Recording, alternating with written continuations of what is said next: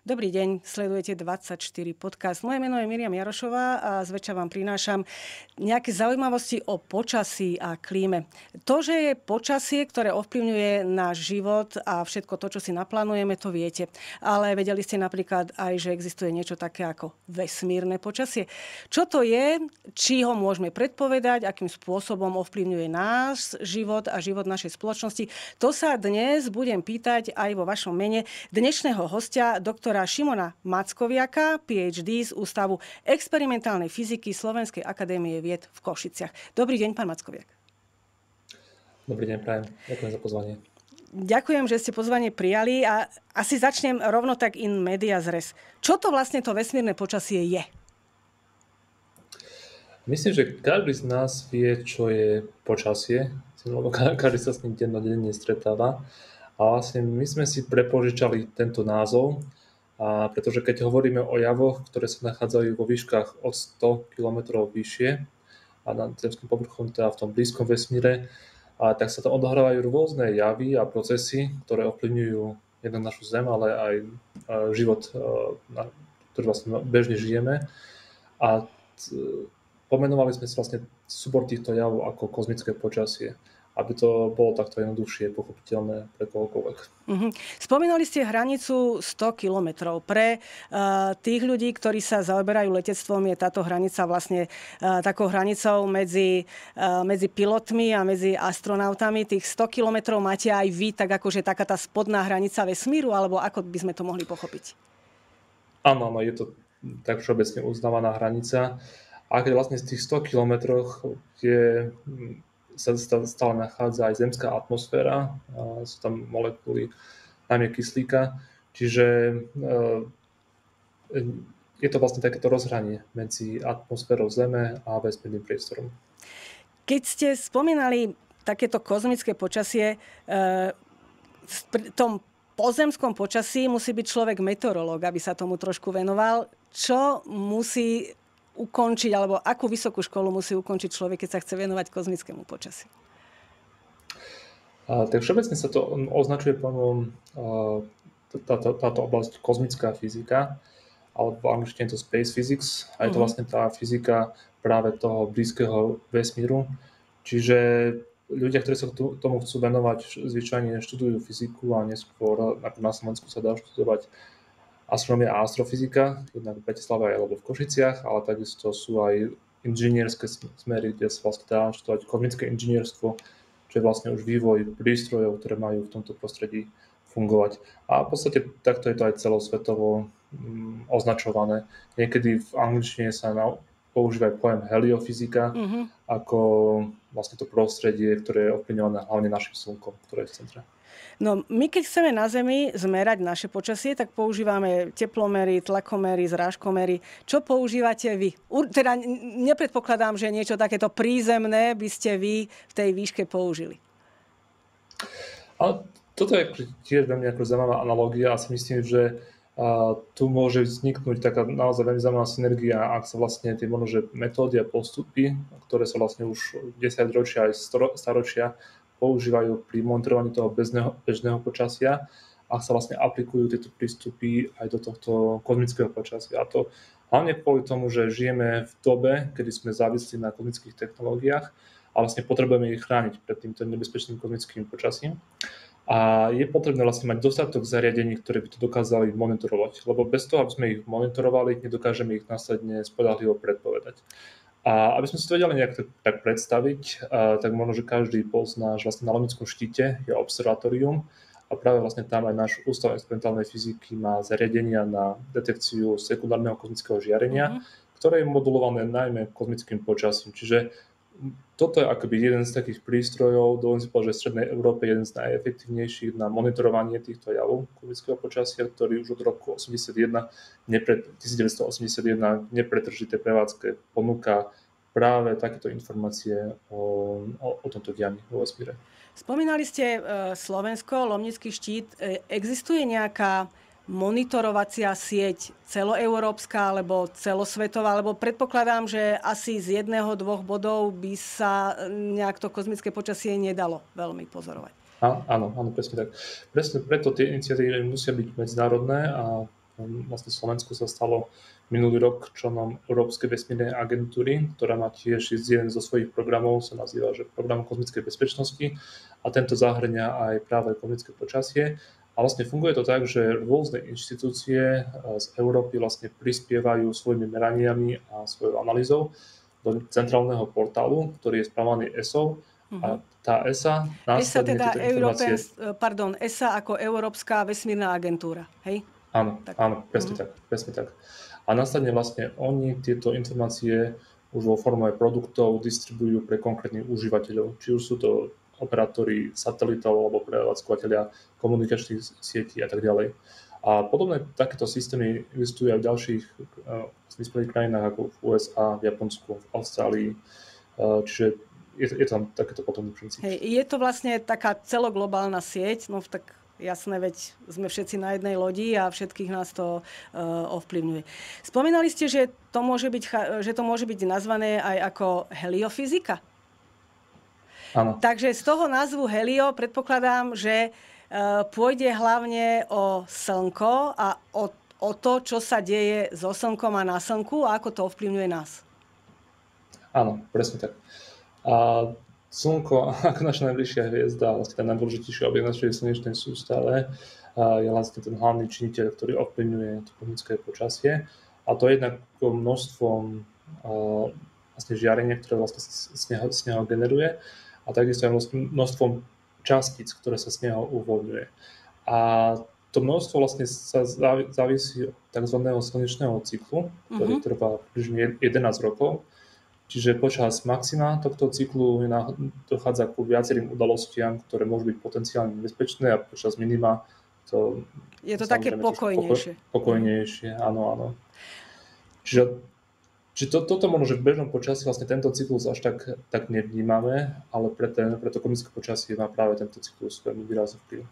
A aký vplyv na toto všetko má výskyt škvrn na slnku. Pretože aj také som si prečítala, že čím viac škvrn, tým je to nepokojnejšie a čím menej škvrn, tým je to také pokojnejšie. Že či áno, alebo áno. či nie. Áno, áno presne to, je, je to presne tak, lebo vlastne tieto slnečné škvrny uh, vlastne vznikajú v tých spodných vrstvách atmosféry Slnka, v tej fotosfére a je to vlastne taký indikátorom tej prítomnosti tých aktívnych oblastí, z ktorých vlastne po tých vyšších vrstvách v chromosfére, prechodovej oblasti v korone vlastne môžu, môže dochádzať k javom, ktoré sa nazývajú slnečné erupcie, uh-huh. ktoré môžu byť sprevádzané bíronami koronálnej hmoty. Vlastne to sú tie najnebezpečnejšie udalosti, kedy vlastne tie častice sú urýchlené priamo zo Slnka a ak smerujú k Zemi, tak vlastne sú naozaj potom nebezpečné. A ako, ak teda mi viete povedať, ako rýchlo sa to, čo sa udeje na Slnku, uh, prejaví u nás? Aký je tam offset, teda aká, aký je tam ten posun časový?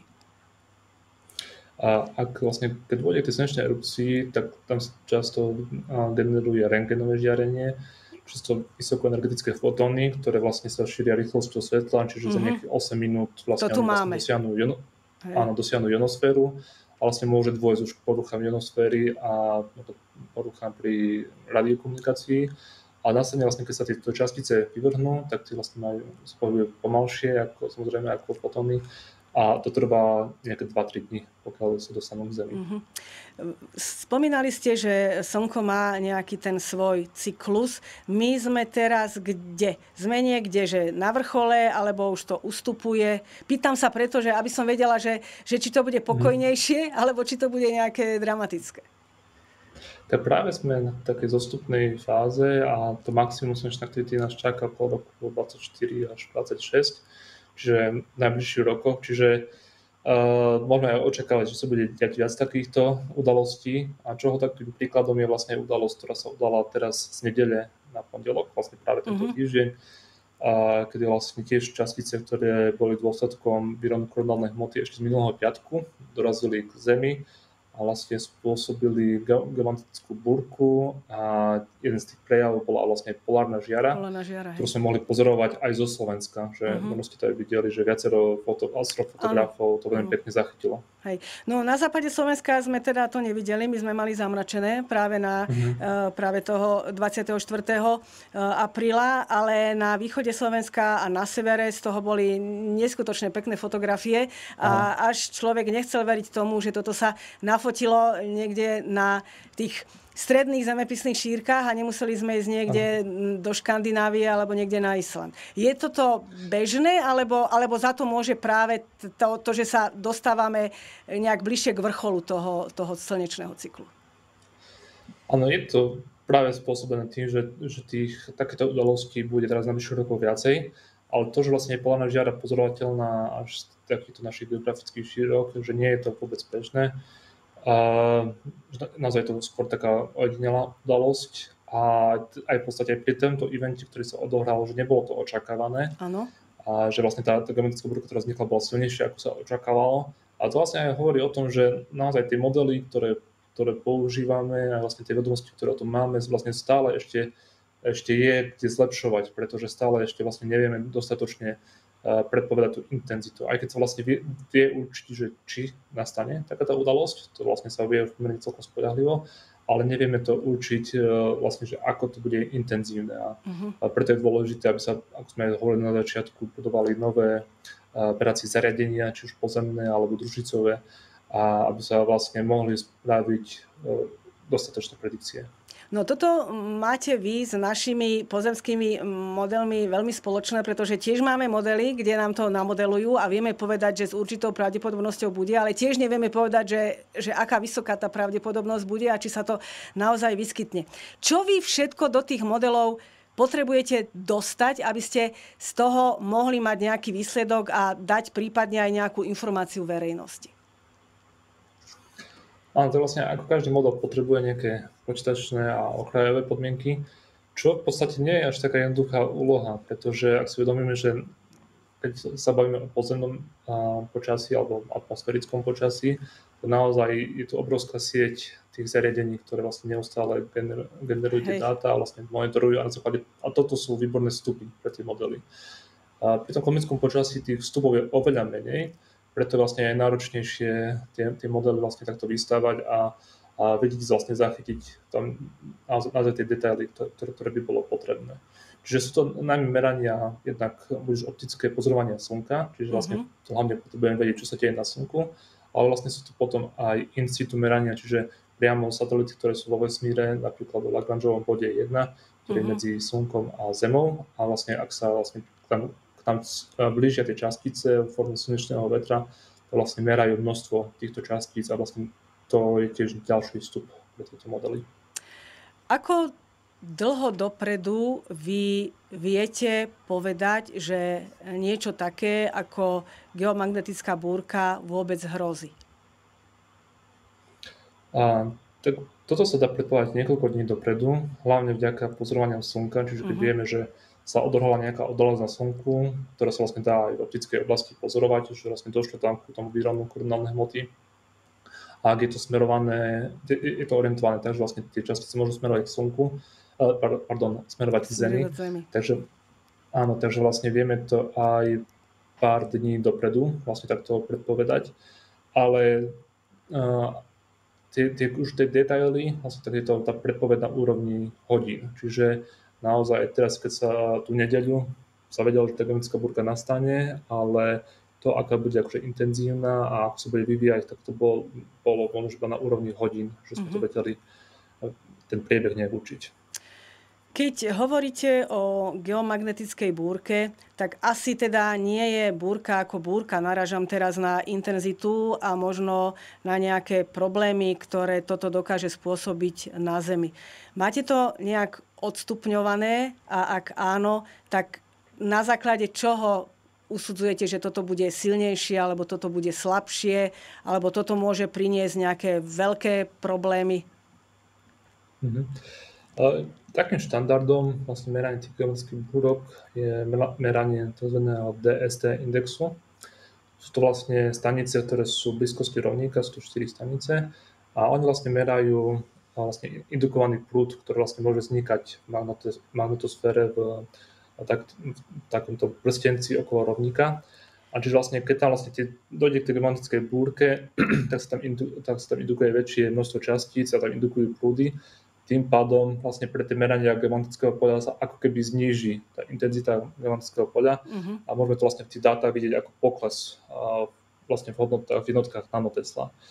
Čiže od veľkosti tohto poklesu sa kategorizujú je, je, je vlastne 5 takýchto tried geomatických búrok od G1 až po G5, uh-huh. Mhm. kde tá G5 je najintenzívnejšia. A vlastne aj teraz z tej nedele na pondelok to bolo na, na hranici medzi G3 a G4. Takže ešte Takže, môže byť aj niečo silnejšie? Áno, áno, že môže byť ešte niečo oveľa silnejšie, áno. A ako sa to potom prejaví na našej spoločnosti, teraz myslím akože celkovo na Zemi, pretože sme už tak pretechnizovaní a máme také veľmi jemné zariadenia a jemné prístroje. Nemôže sa stať, že sa treba tie prístroje úplne vyradia z prevádzky a musí sa to nahradiť? Áno, ale môže sa to stať, že vlastne jedna z takých najsilnejších uh, gigantických búrok za posledných 50 rokov bola v roku 89. A vlastne vtedy Myslíte 1989? 900, áno. áno, 1989, áno. A vlastne vtedy v Kanade, v Quebecu došlo až ku výpadku elektriny, elektrickej energie pre vlastne pre celé mesto, pre nejakých 5 miliónov ľudí, myslím, že na nejakých 9 hodín. Čiže naozaj takto priamo boli tie transformátory zasiahnuté a malo to veľký takýto dopad na spoločnosť. Hej. Potom napríklad v roku 2003 tiež bola pomerne e, silná magnetická búrka, ktorá veľkú časť satelitov, ktoré boli na orbite, vlastne nejakým spôsobom buď narušila a niektoré aj poškodila. A potom ďalšia taká silnejšia udalosť bola roku 2012, ale vtedy vlastne sme mali to šťastie, že vlastne smerovala mimo Zeme, že vlastne mm-hmm. ten prúd častíc, ktorý vlastne bol vyvrhnutý do Slnka, tak minul našu Zem, čo bolo v podstate pre nás, to bolo asi dobré, hej? Pre nás dobré, lebo v podstate to mohlo byť ešte silnejšie, ako to bolo v tom roku 1989. Uh, vy aj viete, trebárs, povedať aj oblasť na Zemeguli, ktorá môže byť najviac takýmto, e, takouto búrkou postihnutá? Ten najviac sú zasiahnuté samozrejme tie oblasti vo vysokých geografických šírkach, čiže v polárnych oblastiach. Uh-huh. A to je práve kvôli tomu, že vlastne to magnetické pole uh-huh. vlastne sa tam dostáva, vlastne vchádza, vchádza cez atmosféru Zeme a či vlastne po týchto sočiarach tieto častice sa môžu dostať vlastne nižšie a tam vlastne indukovať rôzne prúdy, napríklad na vedeniach elektrickej energie a to vlastne môže spôsobiť práve tie výpadky, výpadky v tých transformátoroch. Ale samozrejme najviac sú ohrozené práve satelity alebo astronauti, ktorí sa nachádzajú vo vesmíre, uh-huh. uh, pretože práve tí, tí sú najmenej chránení oproti, oproti tam. Čiže uh, aj na našich geografických šírkach to nepredstavuje až také, také veľké nebezpečenstvo. Uh-huh ale tým, že vlastne aj, aj Slovensko je samozrejme závislé od vesmírnych technológií, či už sú to navigačné družice, komunikačné družice, čiže aj na nás to určite malo veľký dopad. Hej. E, vy ste spomenuli tých e, astronautov. Normálne by sa mohlo stať, že treba by bolo narušené spojenie medzi astronautami a riadiacim centrom? Áno, mohlo byť dôjsť ku strate tohto spojenia, takisto aj tí astronauti potom musia majú aj taký špeciálny režim, vlastne, keď sa musia chrániť pred vlastne priamým ožarením vlastne týmito časticami. Hej, m, mm, takisto možno ešte spomeniem, lebo keď hovorím o astronautov, tých, hej, je, nie, je to pár ľudí, hej, čiže ano. netýka sa to až také široké spoločnosti, ano, ale, áno, áno. ale napríklad... 4 a 5, no. áno, ale napríklad letová prevádzka, čiže uh, trans, transatlantické lety, ktoré vlastne práve križujú tie polárne, polárne oblasti, oblasti tak tak tie musia byť tiež, e, buď sú počas takého, takéto udalosti sú buď odkláňané tieto trasy, alebo musí to byť aj nepretržite monitorované. Pretože to ste možno aj vedeli, že vlastne jeden let takýto z Európy do USA vlastne človek dostane takú dávku, ako keď ide na Rengen. Rengen. Áno, veď ty... Hej, čiže... Hej. No, Čiže napríklad hlavne piloti alebo personál musí byť monitorovaní, aby vlastne nepresiahli tie dávky, ktoré sú stanovené. Ktoré sú tam. Áno, no toto piloti aj teda e, stevarti, e, alebo teda ten personál na palube má také meracie zariadenia, kde sa to jednoducho načítava. Hej. E, už ste hovorili, čo to všetko je, ale aj ste povedali, že sa to teda dá vypočítať, že sa to dá prognozovať na určitú dobu dopredu. Sú vo svete nejaké centra, kde sa toto všetko robí, pretože nepredpokladám, že by si to každá krajina robila sama pre seba. Že toto je tak širokospektrálny problém a týka sa to takého množstva ľudí, že asi budú môj predpoklad, že asi budú iba nejaké centrá, ktoré sa o toto starajú a tieto informácie poskytujú ďalej. Áno, presne tak. Sú takéto centra. Uh, hlavne hlavne sú to vlastne krajiny, ktoré sa to už bezprostredne týka, čiže hlavne skôr toho prispievajú tieto severské krajiny, alebo napríklad Kanada, čiže oni hrajú určite dôležitú rolu a vlastne z týchto centier sa to následne koordinuje. Čiže oni vlastne zbierajú tie dáta od tých jednotlivých inštitúcií a oni to vlastne môžu potom tým užívateľom ďalej poskytovať. Čiže tí užívateľia, ono nie je to úplne že široká verejnosť, aj keď vlastne široká verejnosť sa vie dostať k týmto dátam, ale pre tých konkrétnych operátorov vlastne sú podstatné tie informácie a konkrétny typ informácií a práve k ním sa tieto uh-huh. dáta dostávajú. Takže aj e, náš merací bod na Lomnickom štíte prispieva k tomu, že sa vôbec takéto niečo môže, e, môže celosvetovo urobiť. Áno, áno, presne tak. A vlastne našim záujmom je, aby sme vlastne pridávali aj ďalšie zariadenia zo Slovenska, ktoré by mohli k tomuto prispievať. A bude to vlastne na bližších rokoch aj možné vďaka tomu, že vlastne Slovensko si zvolilo ako jeden z voliteľných programov v rámci tej Európskej vesmírnej agentúry práve program kozmickej bezpečnosti. Čiže je to vlastne vôľa vlastne aj, aj, aj politická, ale vlastne aj zo strany ESA, že ESA rozoznala, že na Slovensku máme kapacity na to, aby sme vlastne vedeli prispievať do tejto oblasti. A o to sa vlastne my v Košiciach snažíme, že snažíme sa vytvárať jednak merania, ale takisto aj ďalšie služby, ktoré by vlastne mohli do takýchto centier prispievať.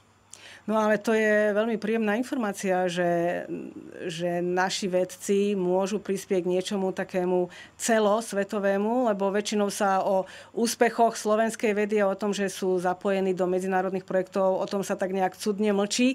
A je, je dobré, že, že, toto, e, že toto vieme. Vy ste spomínali, že e, sú teda niektoré tie centrá, ktoré toto celé E, celé koordinujú, tieto materiály zbierajú a poskytujú ich ďalej. Ale od akého asi roku, niekde, keď by sme išli do minulosti, si vlastne ľudia uvedomili, že nás slnko ovplyvňuje nielen tým, že sa dokážeme spáliť alebo opáliť, ale že nás ovplyvňuje aj nejakým iným spôsobom. Je nejaká taká história? Tohoto? Áno, ak by sme to takto plne historicky asi zobrali, tak vlastne ten taký najdôležitejší event, čo sa udial, čo sa vlastne na to často odkazuje, bolo ešte v roku 1859. Čiže pomerne dávno, ale vlastne vtedy bola akože doteraz uh, zaznamená najsilnejšia takáto udalosť na Slnku, ktorá spôsobila veľmi silnú uh, geomagnickú búrku, že tedy tá polárna žiara bola viditeľná aj dokonca v Karibiku. Fíha. A spôsobilo to spôsobilo to v tom čase vlastne výpadok uh, z tých, tých telekomunikačných zariadení, ktorí oni, oni vtedy mali, hej, hej. No. Čiže, čiže, čiže telegrafov. Áno. Čiže naozaj došlo ku spálení týchto telegrafov. A toto bola akože taká prvá udalosť, keď sa myslím, že tí ľudia tým začali zaoberať. No a potom samozrejme, keď začala kozmická éra v tých 50 rokoch minulého storočia, vtedy, odvtedy sa vlastne začalo o tom viac hovoriť a myslím, že veľkú rolu zohralo práve, zohrali práve tieto družicové merania, lebo množstvo týchto javov nie je možné pozorovať zo Zeme a je potrebné ich pozorovať z vesmíru. Uh-huh. A práve pomocou týchto družíc, uh, vlastne aj u nás v Košiciach sa pracovalo na tom, takomto programe, kedy sa vlastne budovali prístroje pre vesmírne družice, aby sa vlastne mohli monitorovať práve m, tieto podmienky vo vesmíre, tak a poznatky z týchto družíc vlastne prispeli k tomu, aby sme vlastne pochopili, že je to že seriózny problém, ktorému sa je potrebné venovať. Keď ste spomenuli rok 1850, ako tí, tí naši predkovia vedeli, že to je niečo, čo išlo z, z vesmíru? Ako, no, keď nebol družicový program a nič také nemali. Áno, toto je, toto je veľmi dobrá otázka, ale vlastne presne vlastne vtedy sa ten, tá oblasť bola taká silná, vlastne tá erupcia, uh-huh. že vlastne tie erupcie sú zvyčajne viditeľné iba v UV oblasti, čo vlastne pre človeka nie je viditeľné, ale bola tedy taká, taká intenzívna, že bola vlastne viditeľná aj v bielom svetle, čiže v tom spektrálnom rozsahu, čo človek dokáže vidieť očami a vlastne práve Carrington a to pozoroval, vlastne tak, takýto, takúto udalosť na Slnku a vlastne on to vlastne identifikoval, že takáto udalosť, veľmi silná erupcia výronom koronálnej hmoty sa udiala na Slnku a spojil si to s tým, že o pár dní na to bola tá veľmi silná geomagnetická búrka, ktorá spôsobila výpadky telegrafov. To si neviem ani predstaviť, ako to muselo spôsobiť paniku, že vlastne bolo to také na celej Zemeguli a jedna dobre mienená rana z našej najbližšej hviezdy a od, odpasla, to, odpasla to celé. No, vás sa asi ľudia nepýtajú, že aké bude počasie v lete, alebo aká bude zima. Ale čo sa vás tak najčastejšie pýtajú, keď, keď sa s niekým zoznámite a poviete, že čo robíte, tak aká je jeho prvá otázka? Tak tiež, tiež to akože zaujíma, či je to akože nebezpečné pre človeka, Jasné. či to môže akože nejak ovplyvniť, ovplyvniť bežný život a, a tak myslím, že ľudia väčšinou aj tak rozumejú tak intuitívne, že je to nebezpečné hlavne pre tie satelity, pre tých astronautov, čiže skôr už potom vlastne k tomu smeruje tá diskusia. Uh-huh. A myslíte si, že to je nebezpečné len pre tie technické zariadenia? Nemôže to nejako ovplyvniť trebárs aj, ja neviem, uh, nejakú náladu človeka alebo nejaké také, že je viacej bojazlivý alebo viacej nervózny alebo viac taký podráždený, až či takto sa to ešte asi neskúmalo.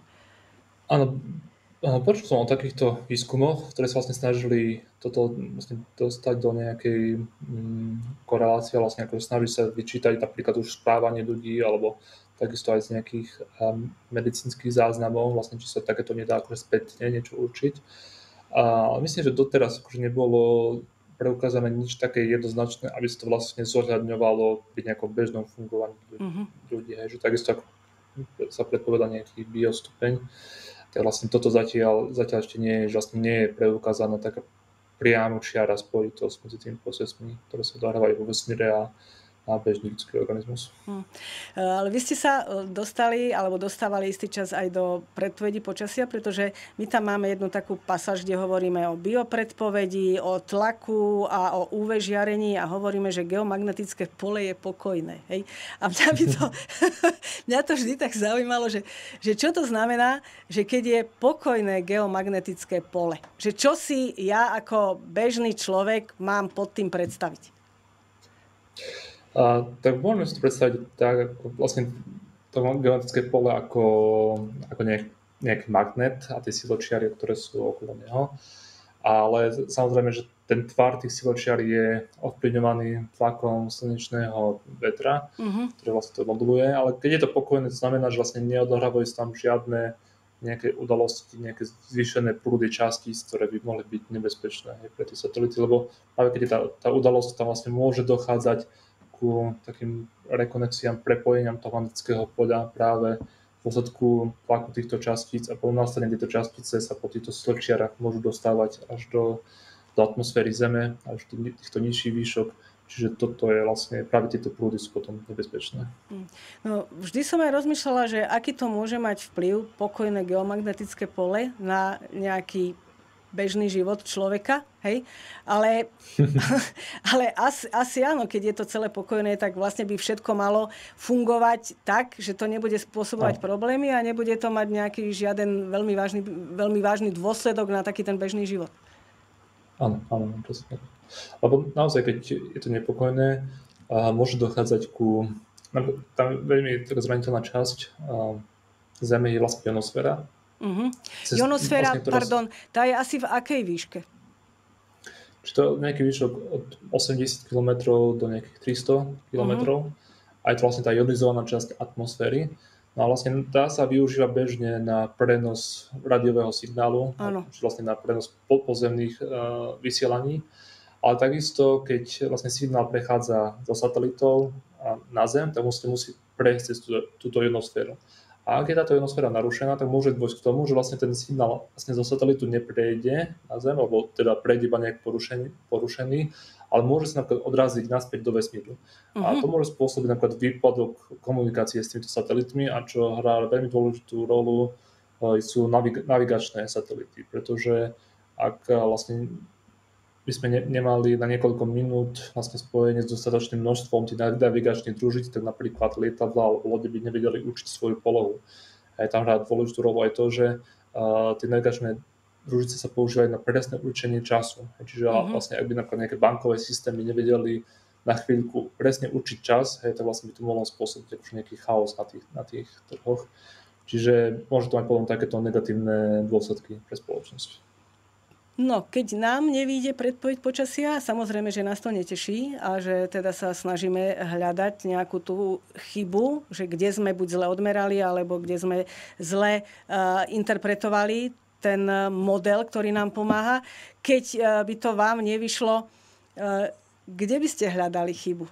Že prečo, prečo sa to nepodarilo? Mm. Tak myslím si, že v súčasnosti, ako som dával, že naozaj je to pomerne ešte mladá oblasť skúmania a že veľa vecí ešte nie je dobre pochopených a tým pádom stále vlastne sú nejaké záložné systémy, na ktoré sa, ktoré sa používajú a čiže vlastne aj tie operátori že nie sú odkázaní iba na, na tieto, tieto predpovede, preto vlastne že si uvedomujú, že naozaj ešte potrebujeme oveľa viac sa akože posunúť ďalej v tej celej téme, aby sme vedeli robiť dostatočné a spodahlivé predpovede. Uh-huh. Čiže stále je to ešte v, tak, v takej fáze, že je to skôr, má to nejaký poradný, poradný, poradnú informáciu, ale tie rozhodnutia už robia potom tí konkrétni operátori. Hej, že stále to nie je ešte tak zautomatizované, aby naozaj na základe čisto týchto dát vlastne sa vedelo všetko automaticky vyhodnotiť a vedelo vygenerovať spodárivú predikciu. Ale myslím si, že toto je dôležitá vec a k tomu to treba smerovať, aby vlastne naozaj tie predikcie mohli byť nejakým spôsobom automatizované, až naozaj všetci, čo tie informácie potrebujú, aby vlastne ich, do, ich dostávali čo najskôr a v takomto automatickom režime, aby vlastne to nebolo už potom spomaľované tým, že to vlastne niekto bude musieť nejak posunúť. Posunúť, hej, alebo nejak s tým robiť. Uh, taká tá toto ste hovorili, že to je jedna z možností, ako to dať e, do budúcnosti. Podľa vás ten, ten horizont, kedy sa to dostane do takéhoto štádia, je, ja neviem, 10 rokov, 20 rokov?